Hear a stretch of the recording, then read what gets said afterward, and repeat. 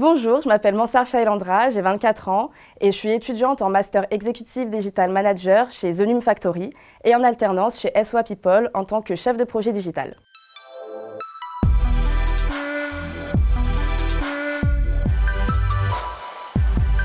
Plutôt diplômée, euh, j'ai fait le choix de faire un master chez The Factory parce que c'était important pour moi euh, d'avoir un diplôme et de continuer à me former sur, euh, sur le sujet. En école, on est, on est amené à avoir beaucoup de professionnels qui sont nos formateurs aussi. Donc c'est vrai qu'on apprend beaucoup à côté d'eux parce qu'ils sont sur le terrain et forcément c'est la meilleure manière d'apprendre plutôt projet de groupe et c'est la raison pour laquelle j'ai rejoint The Factory et pour laquelle j'ai choisi aussi l'alternance. Par exemple, cette année, euh, on travaille uniquement en mode projet, donc c'est-à-dire qu'un bloc de compétences égale un projet et on doit valider ces, projets, ces blocs de compétences pour euh, valider notre diplôme. On a nos formateurs pour nous épauler, nous aider si besoin, mais euh, on est autonome, on fait nos propres recherches et on gère notre projet comme une équipe de professionnels. Alors c'est vrai que moi je préfère quand même les cours en présentiel, le fait d'aller en cours et de voir mes collègues de classe, de rencontrer mes formateurs, je trouve ça beaucoup plus intéressant. C'est une école qui a été créée par le MEDEF, donc c'est une école qui a été créée pour les entreprises et parce que les entreprises en avaient besoin. On est au plus près des besoins des entreprises. Par exemple, quand j'ai dû trouver mon alternance, l'école m'a accompagnée du début à la fin.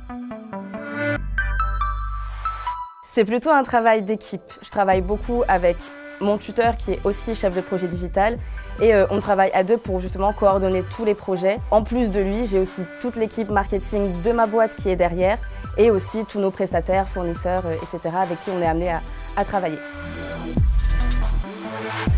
En tant que chef de projet digital, mon quotidien a un côté très opérationnel parce qu'il faut faire vivre l'équipe marketing.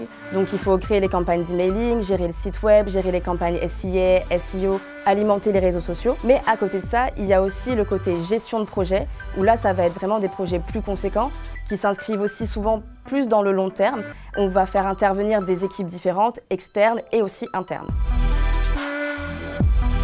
Il faut avoir un bon leadership parce qu'on va être amené à gérer des équipes qui ont des compétences différentes et donc il faut être attentif à leurs besoins pour les gérer au mieux, coordonner le tout au mieux. Il faut être proactif parce qu'il va falloir anticiper les besoins, les risques de notre projet. Il faut être aussi curieux, d'un côté pour être toujours à l'affût des nouveaux outils, des nouvelles innovations qui peuvent être à notre disposition dans notre travail, mais aussi sur tous les domaines auxquels on va pouvoir toucher, parce qu'en tant que chef de projet digital, on peut exercer dans beaucoup de domaines différents.